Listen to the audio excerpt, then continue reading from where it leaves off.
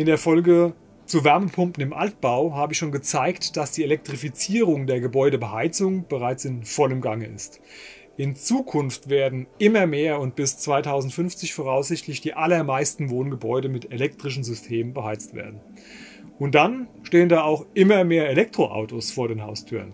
Strom spielt in Wohngebäuden damit eine zunehmend wachsende Rolle und damit eben auch der Strom vom Dach, also der Strom aus Photovoltaikanlagen, der direkt vor Ort erzeugt wird.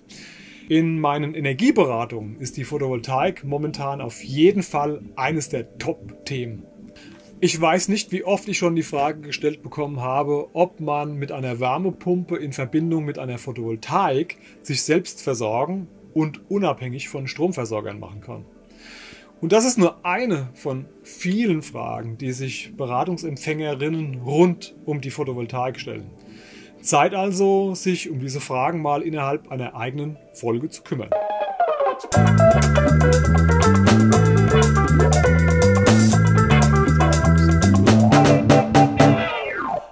Liebe Freunde der Sparkunst, wäre es nicht cool, vollständig autark von jeglichen Stromversorgern zu sein? Man produziert seinen Strom selbst, speichert diesen in großen Speichern und greift, wann immer er gebraucht wird, darauf zu. Klingt absolut verlockend und sollte rein theoretisch doch auch möglich sein, oder? Die erforderlichen Komponenten, die es dazu braucht, gibt es ja schon auf der einen Seite die Photovoltaikanlage, um den Strom zu erzeugen, und auf der anderen Seite die Stromspeicher, um den Strom zwischenzuspeichern, um ihn auch dann nutzen zu können, wenn nachts zufällig mal keine Sonne scheint. Soll ja ab und zu mal vorkommen, habe ich gehört. Bei der Vorbereitung für diese Folge war allerdings ziemlich schnell klar, dass Photovoltaik und Stromspeicher zusammen den Rahmen einer einzigen Folge komplett sprengen würden. Daher gibt es für den Speicher eine eigene Folge. Und hier und jetzt geht es erstmal ausschließlich um das Thema Photovoltaik. Und zwar rein um die Kleinanlagen. Anlagen also, die man typischerweise auf Einfamilienhäuser oder kleine Mehrfamilienhäuser schraubt und die eine Spitzenleistung von bis zu 10 Kilowatt Peak haben.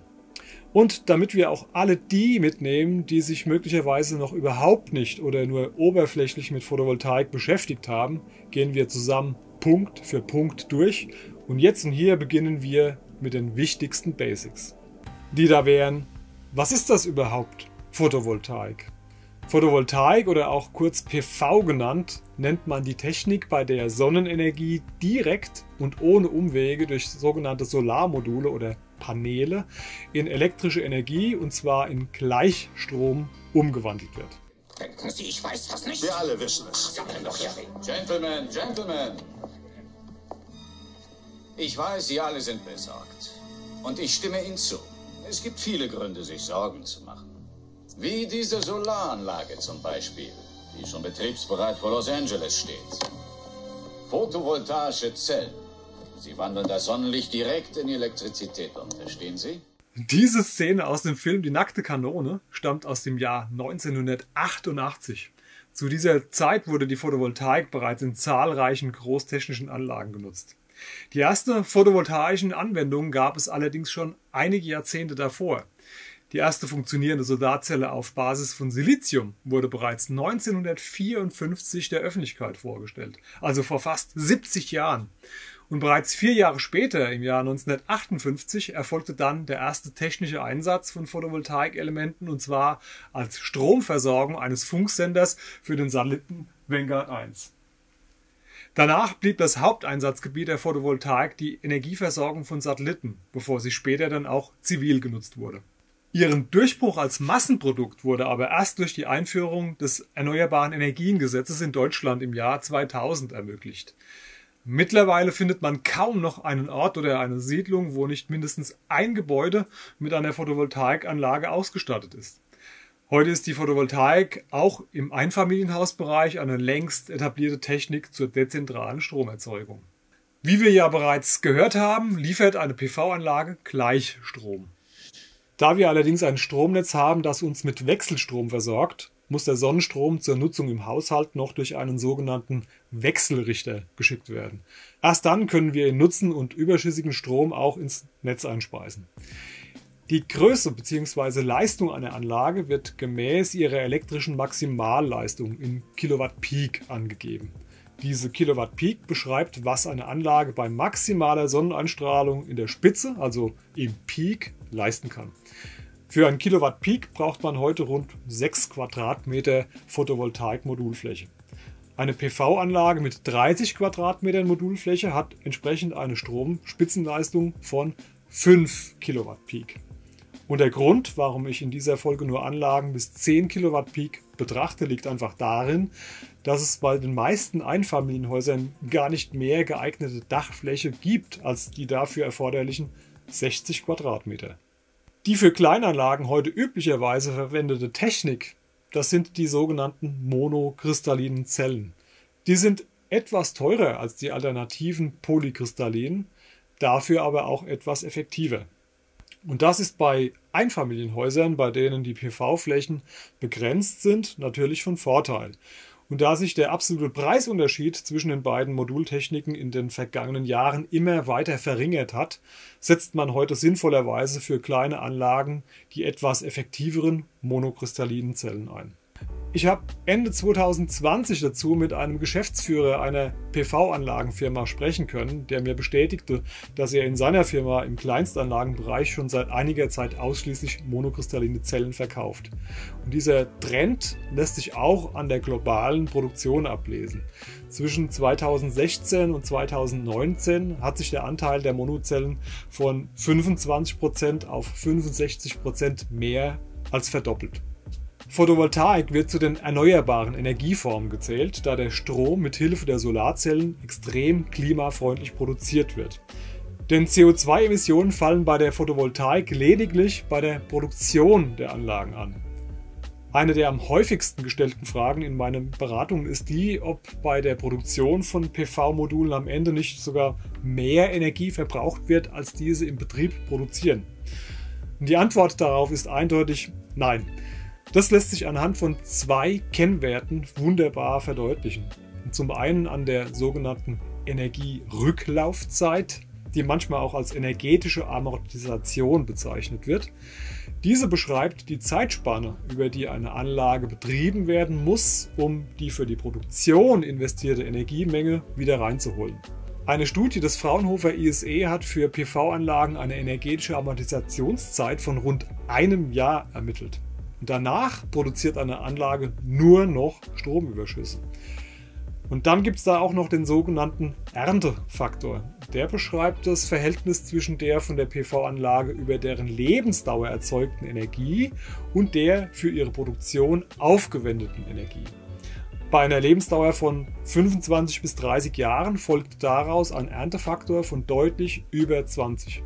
Das heißt, die Anlage produziert im Laufe ihres Betriebs 20 mal mehr Strom, als für ihre Produktion benötigt wurde.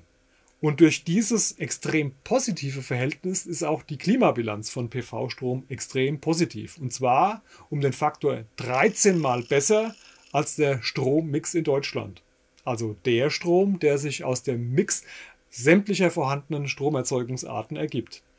Das bedeutet, dass in jeder Kilowattstunde Strom, die durch PV produziert wird, nur ein Dreizehntel der CO2-Menge steckt als in unserem Strommix. Wer mehr darüber wissen will, kann sich dazu die Energiesparkommissar-Folge zum Thema Ökostrom anschauen. Den Link findet ihr hier oben. Klar ist also, dass die Klimabilanz von PV-Anlagen positiv ist. Von daher ist Photovoltaik ökologisch erstmal uneingeschränkt empfehlenswert. Nun bleibt aber die Frage, arbeitet sie in den vergleichsweise sonnenarmen Ländern wie hier in Mitteleuropa denn auch wirtschaftlich? Oder anders gefragt, sind PV-Anlagen nicht nur eine ökologische, sondern auch eine wirtschaftliche Investition? Ja, das sind sie. In Deutschland liegt die solare Einstrahlung zwischen 950 und 1050 Kilowattstunden. Im Mittel also bei rund 1000 Kilowattstunden pro Quadratmeter. In Österreich und in der Schweiz liegt die Einstrahlung im Mittel sogar etwas darüber. Wie wir zu Beginn gesehen haben, schafft es eine monokristalline Zelle, rund 20% des auf sie treffenden Sonnenlichts in elektrische Energie umzuwandeln. Das bedeutet, Pro Quadratmeter PV-Fläche hat man einen potenziellen Stromertrag von 200 Kilowattstunden pro Quadratmeter. In der Praxis liegt die Ausbeute jedoch etwas darunter. Ganz grob kann man sagen, liegt der Flächenbedarf, um 1000 Kilowattstunden Strom zu erzeugen, momentan bei rund 6 Quadratmetern und die entsprechen gleichzeitig einer Anlagengröße von rund einem Kilowatt Peak. Das hatten wir ja schon. Und weil das ein ganz wichtiger und zentraler Zusammenhang ist, kommt hier das Ganze nochmal ganz langsam zum Mitschreiben. Für eine Anlage mit einer Leistung von einem Kilowatt Peak wird momentan eine Fläche von rund 6 Quadratmetern benötigt. Und diese Fläche hat dann einen jährlichen Stromertrag von rund 1000 Kilowattstunden. Die Kosten für eine Kilowatt-Peak-Anlage sind in den Nullerjahren extrem gefallen. Aber auch in den vergangenen acht Jahren gingen die Modulpreise im Mittel um weitere 5% im Jahr runter. Anfang 2021 lag der Preis für einen Kilowatt Peak dann bei rund 1200 Euro. Wenn man sich die Entwicklung der Preise mal genauer anschaut, dann ist davon auszugehen, dass es auch in Zukunft noch moderate Kostensenkungen geben wird. Große Preissprünge nach unten wie in den vergangenen 20 Jahren sind allerdings nicht mehr zu erwarten. So, nun kennen wir also schon mal den solaren Ertrag und die Kosten für eine Anlage kennen wir auch. Bleibt noch die Frage nach dem wirtschaftlichen Vorteil. Um uns dem zu nähern, ist es erforderlich, eine neue Begrifflichkeit einzuführen und zu erklären, und zwar den Eigenverbrauchsanteil. Denn nicht alles, was eine PV-Anlage an Strom produziert, können wir auch direkt verbrauchen. Das kann man wunderbar am Tagesverlauf einer typischen Stromverbrauchs- und PV-Ertragskurve erkennen. Hier sieht man schnell, dass Verbrauch und Ertrag überhaupt nicht zusammenpassen. Lediglich der orangefarbene Teil ist der von der PV-Anlage produzierte Strom, den wir direkt verbrauchen können. Der überschüssige PV-Strom wird ins Netz eingespeist. Der Teil des erzeugten PV-Stroms, der direkt genutzt werden kann, den nennt man auch den eben schon erwähnten Eigenverbrauchsanteil. Und je höher der Eigenverbrauchsanteil ist, desto weniger Solarstrom wird auch ins Netz eingespeist. Und der Anteil liegt ohne Speicher für typische Stromverbräuche und Anlagengrößen immer deutlich unter 50, also eine Größenordnung von 25 Prozent. Wichtig ist das deshalb, weil sich der wirtschaftliche Vorteil zwischen selbstgenutztem Strom und dem ins Netz eingespeisten Strom enorm unterscheidet. Wenn ihr in eurer Stromrechnung mal nachschaut, werdet ihr feststellen, dass ihr für eine Kilowattstunde Haushaltsstrom einen Preis von um die 30 Cent bezahlt. Vielleicht etwas mehr und vielleicht auch etwas weniger.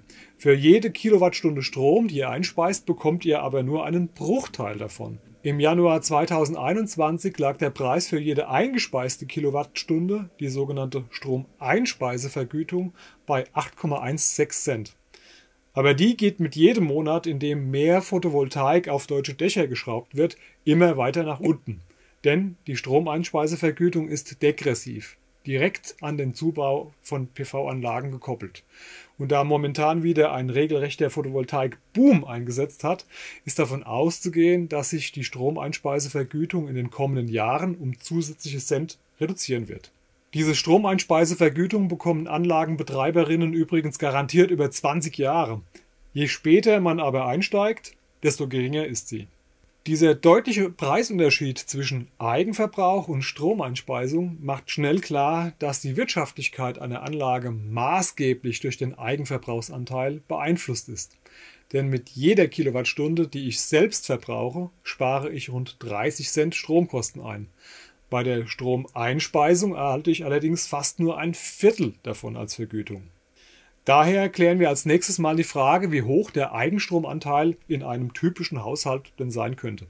Und dafür nutzen wir ein kleines Tool, das von der Hochschule für Technik und Wirtschaft, der HTW in Berlin, entwickelt wurde. Auf ihrer Website betreibt die HTW ein kleines, aber feines Informationsportal über erneuerbare Energiesysteme und Klimaschutz. Und auf diesem findet sich ein kleiner Solarspeicher Unabhängigkeitsrechner zur freien Nutzung. Auch wenn der Rechner eigentlich ein Solarspeicherrechner ist, kann man ihn auch für eine reine Photovoltaikanlage ohne Speicher nutzen, indem man die Speicherkapazität einfach auf Null stellt. Den Link zum Rechner findet ihr in der Videobeschreibung. Wenn ihr den Rechner nutzen wollt, müsst ihr euch zunächst euren Stromverbrauch aus eurer Stromrechnung ziehen. Ich verwende für unser Beispiel den im Infotext genannten typischen Haushaltsstromverbrauch von 4000 Kilowattstunden. Wenn wir im Rechner nun die kleinste mögliche Photovoltaikleistung von 0,1 Kilowatt Peak einstellen, das wäre eine Anlage von ungefähr 0,6 Quadratmetern, dann sehen wir, dass der Eigenstromanteil bei fast 100% liegt. Das bedeutet, wenn wir eine sehr kleine Anlage haben, ist der Stromertrag so gering, dass wir nahezu alles, was die Anlage an Strom produziert, auch selbst verbrauchen können. Der sogenannte Eigenstromanteil ist daher fast 100%. Damit wir den Rechner jetzt nicht für jede Anlagengröße neu einstellen müssen, habe ich das mal für Anlagengrößen bis 10 Kilowatt Peak vorbereitet. Das Ergebnis, das seht ihr jetzt hier. Wenn wir die Anlagengröße langsam erhöhen, reduziert sich der Eigenstromanteil des PV-Stroms relativ schnell. Schon bei einer Anlagengröße von einem Kilowatt Peak sinkt der Eigenstromanteil auf 65 Prozent. Das heißt, 35 Prozent des PV-Stroms müssen wir ins Netz einspeisen. Bei einer 30 Quadratmeter Anlage, also mit 5 Kilowatt Peak, liegt er bei 25 Prozent. Und bei einer 10 Kilowatt Peak Anlage geht der Eigenstromanteil runter auf 15 Prozent. Wenn es also unser Ziel wäre, einen möglichst großen Eigenstromanteil zu haben, dann müsste die entsprechende Anlage also möglichst klein sein. Den meisten Menschen wird der Eigenstromanteil aber ziemlich egal sein. Viele wollen ja möglichst viel Strom selbst erzeugen, um möglichst unabhängig oder autark von den Energieversorgern zu sein. Und das erreicht man nicht mit einem hohen Eigenstromanteil, sondern eher mit einem großen Autarkiegrad. Ein Autarkiegrad von 0% bedeutet dabei, man produziert gar keinen eigenen Strom und ist voll abhängig von Stromlieferungen. Mit einem Autarkiegrad von 100% wäre das Ziel der Stromunabhängigkeit erreicht. Also schauen wir mal, wie sich der Autarkiegrad bei unserem Beispiel verhält. Praktischerweise wird dieser von unserem Unabhängigkeitsrechner gleich mitgeliefert.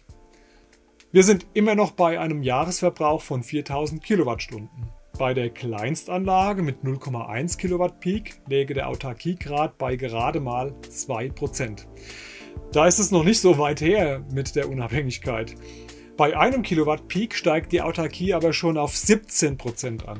Erhöhen wir die Anlagengröße weiter auf 5 Kilowatt Peak, sind es schon 32%. Und wenn wir die Anlagengröße jetzt noch einmal von 5 auf 10 Kilowatt Peak verdoppeln, steigt der Autarkiegrad zwar nochmal, jetzt aber nur noch um zierliche 5% auf 37%. Ihr seht also, um einen möglichst großen Autarkiegrad zu erreichen, muss die Anlage groß sein. Aber Größe allein reicht nicht aus, denn egal wie groß eine Anlage auch sein wird, spätestens wenn die Sonne am Abend verschwindet, wird sie nichts mehr produzieren. Für einen hohen Autarkiegrad braucht man daher zusätzlich und unbedingt einen Stromspeicher, um Stromüberschüsse am Tag speichern zu können, um diese dann zur Verfügung zu haben, wenn die Anlage gerade nichts liefert. Ohne Speicher sind dem Autarkiegrad ansonsten eindeutige Grenzen gesetzt. Aber wie gesagt, um den Speicher kümmern wir uns erst in der nächsten Folge. Als nächstes möchte ich mit euch klären, ob es eine optimale Anlagengröße gibt, und zwar wenn es um den reinen wirtschaftlichen Betrieb geht. Das geht leider nicht mehr mit dem Online-Rechner der HTW. Dafür müssen wir jetzt selbst ein bisschen rechnen. Um uns einer wirtschaftlichen optimalen Größe anzunähern, brauchen wir folgende vier Informationen. Die Anlagenkosten kennen wir. Die liegen aktuell bei den schon genannten 1200 Euro pro Kilowatt Peak. Den Stromertrag für meinen Standort. Wir nehmen für unser Beispiel mal den Mittelwert für Deutschland von rund 1000 Kilowattstunden im Jahr pro Kilowatt Peak an. Für die Stromkosten pro gekaufte Kilowattstunde rechnen wir mal mit unserem Preis von 30 Cent und für jede Kilowattstunde Strom, die wir einspeisen, nehmen wir Stand Januar 2021 8 Cent.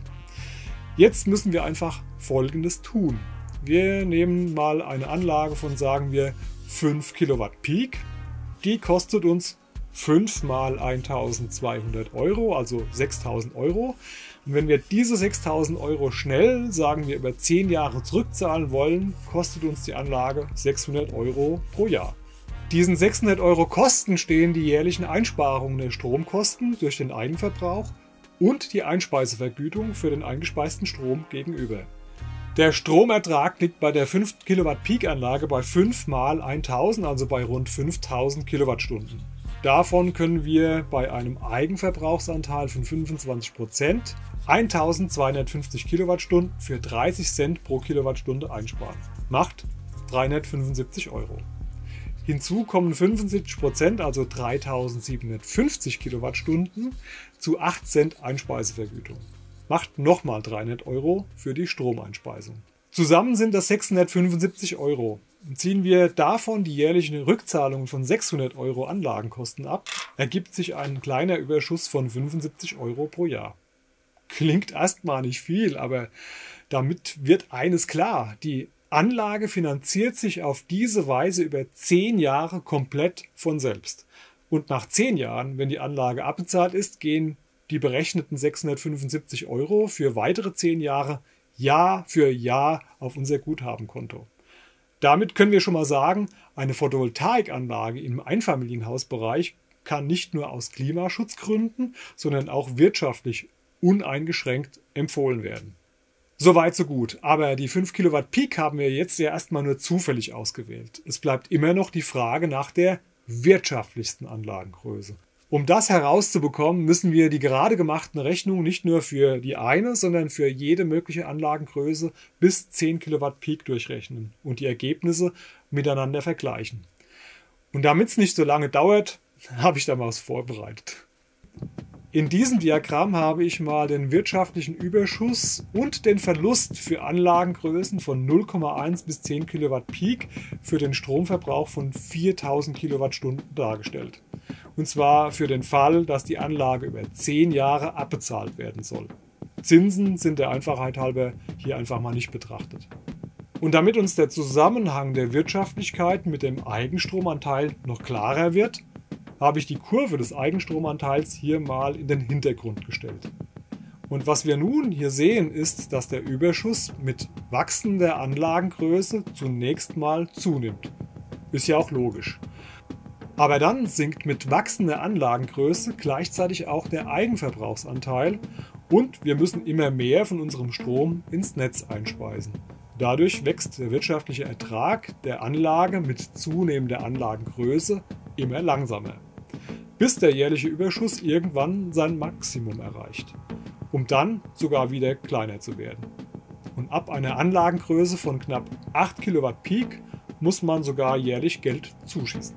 Daraus lässt sich erkennen, dass die Wirtschaftlichkeit abhängig ist vom richtigen Verhältnis von Stromverbrauch und Stromertrag und damit auch von der Anlagengröße. Oder anders ausgedrückt, die Wirtschaftlichkeit hat in unserem Beispiel ein Optimum bei ca. 2,5 Kilowatt Peak. Ab da sinkt die Wirtschaftlichkeit mit weiterer Zunahme der Anlagengröße stetig. Allerdings lag unserem Beispiel ja auch die Annahme zugrunde, dass wir die Anlage über zehn Jahre abbezahlen wollen. Wenn man die Anlagenkosten über die vollen 20 Jahre streckt, in denen man die Einspeisevergütung sicher hat, ergibt sich ein deutlich positiveres Bild.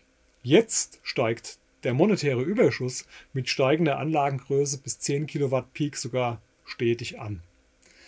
Daraus könnte man nun die Empfehlung ableiten, dass man die Anlagengröße möglichst groß wählen sollte, denn je größer die Anlage, desto größer ist auch der Überschuss.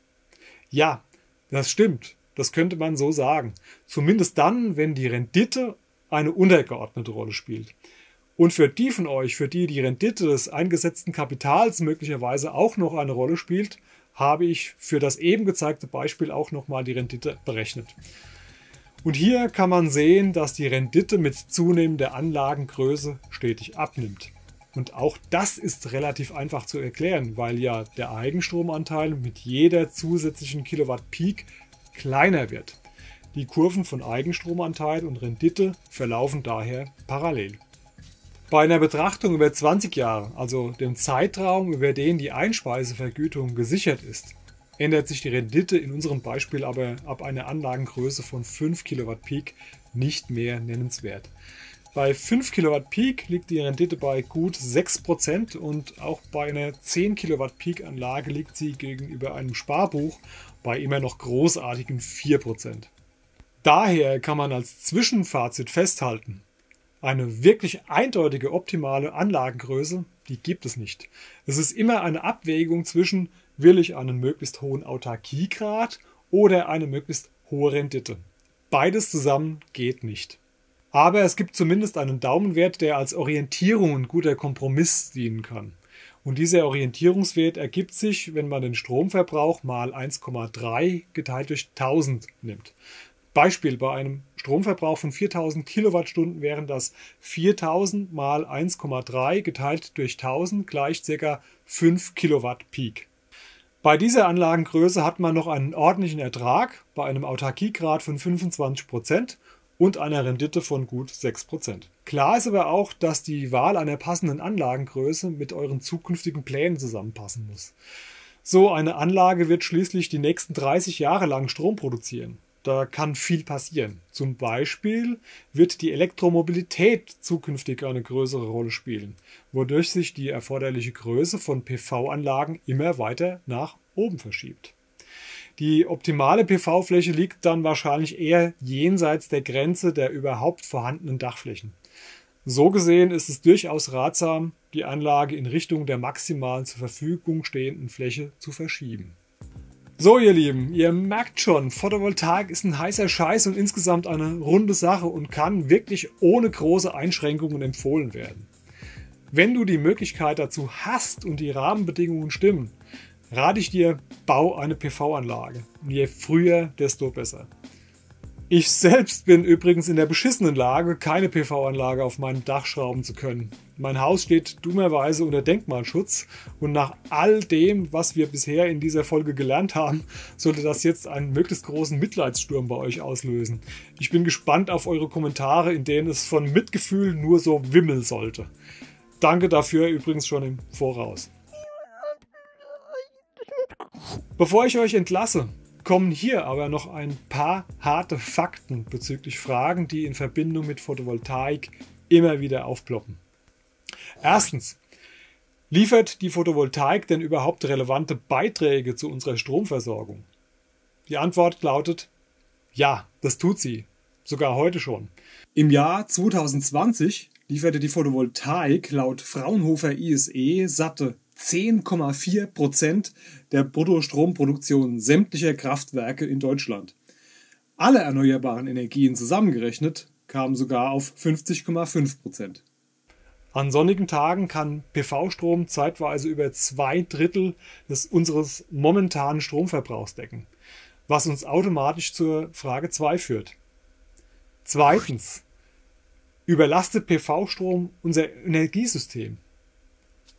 PV-Strom wird überwiegend dezentral eingespeist und stellt daher im Vergleich zu Großkraftwerken eher geringere Anforderungen an unsere Stromnetze. Im Bereich von hohen PV-Anlagendichten kann es an sonnigen Tagen aber durchaus passieren, dass die Stromproduktion den Stromverbrauch in einem Netzabschnitt mal übersteigt. Solche Netzengpässe durch Photovoltaik sind aber eher selten. Laut Bundesnetzagentur lag der im Jahr 2019 durch Solarstrom abgeregelte Anteil bei lediglich 2,7 Prozent. Beim Windstrom waren es im selben Jahr 96,7 Prozent. Laut einer Studie der Agora Energiewende wird das deutsche Stromnetz auch bei einer Verdopplung der heute installierten PV-Leistung unseren Strom auch ohne nennenswerten Ausbau der Netze transportieren können. Drittens. Gefährdet Solarstrom unsere Versorgungssicherheit? Die Antwort ist eindeutig nein. Die Versorgungssicherheit hat parallel zum Ausbau der Photovoltaik sogar zugenommen. Das hat auch damit zu tun, dass sich Photovoltaik und Windenergie im Jahresverlauf ziemlich gut ergänzen. Was ihr hier seht, ist zunächst nur die Solarstromproduktion über mehrere Jahre dargestellt. Die Berge im Sommer und Täler im Winter sind gut zu erkennen. Wenn man aber nun die Windkraft darüber legt, sieht man, dass die Berge und Täler genau umgekehrt verteilt sind. In der Summe ergibt sich dadurch ein im Jahresverlauf viel gleichmäßigeres Stromproduktionsbild, als wenn man nur PV oder nur Wind alleine betrachtet. Viertens. Exportieren wir massiv PV-Strom ins europäische Ausland? Nein, Der gewachsene Exportüberschuss der letzten Jahre kommt vor allem aus Kohlekraftwerken. Und das liegt an den immer noch viel zu geringen Erzeugungskosten für Kohlestrom, auch weil Kohlekraftwerke viel zu wenig für ihre CO2-Emissionen zahlen müssen. Die Stromgestehungskosten von Kohlestrom liegen im Mittel bei rund 7 Cent pro Kilowattstunde. Photovoltaikstrom kostet dagegen rund 10 Cent. Und das, obwohl Kohlestrom pro Kilowattstunde einen fast 20-fach höheren CO2-Ausstoß hat. Meine Meinung dazu, ich persönlich fände es fantastisch, wenn wir anstatt Kohlestrom mehr Photovoltaikstrom nach Europa verkaufen könnten. Fünftens. Erzeugt die PV-Branche nur noch Arbeitsplätze in Asien? Nein, aber Deutschland hat in den letzten Jahren tatsächlich viele Arbeitsplätze in der PV-Branche verloren. Die PV-Branche beschäftigt im Jahr 2018 ca. 24.000 Menschen in Deutschland und damit mehr als im Braunkohlebergbau beschäftigt sind. Aber trotz der hohen Importquote bei PV-Modulen bleibt der Großteil der Wertschöpfung in der PV-Branche im Land. Das Fraunhofer ISE rechnet dazu vor, dass lediglich 30 Prozent der Einspeisevergütung nach Asien fließen. Hinzu kommt, dass die asiatischen PV-Produktionen teilweise auch Produktionsanlagen aus Deutschland nutzt. Langfristig ist ohnehin zu erwarten, dass durch die sinkenden Produktionskosten von PV-Modulen bei steigenden Frachtkosten und langen Frachtzeiten die Wettbewerbsfähigkeit europäischer Modulhersteller sich wieder verbessern wird. So, liebe Freunde der Sparkunst, genug gefaselt für heute. Wenn es mit der heutigen Folge gelungen sein sollte, euch einen etwas besseren Überblick über das Thema Photovoltaik verschafft zu haben, dann würde mich das wirklich sehr freuen. Und wenn ihr nun über die Anschaffung einer PV-Anlage ernsthaft nachdenkt und zusätzlich auch überlegt, euch noch einen Stromspeicher draufzupacken, dann schaut euch doch vorher noch die Folge zum Solarspeicher an. Auch die kann euch möglicherweise Orientierung bei der Wahl eines geeigneten Speichersystems geben. Und immer dran denken, Photovoltaikstrom verursacht 13 mal weniger CO2 als unser Strommix. Und das gilt noch mehr für richtigen Ökostrom, in dem auch noch Windkraft drin steckt. Der hat im Mittel sogar einen 16-fach geringeren CO2-Ausstoß als der Strommischmasch. Das bedeutet, ihr braucht nicht mal ein Dach, um ab sofort beim Klimaschutz mit dabei zu sein. Damit verabschiede ich mich und sage bye bye bis zum nächsten Mal hier auf diesem Kanal. Euer Energiesparkommissar.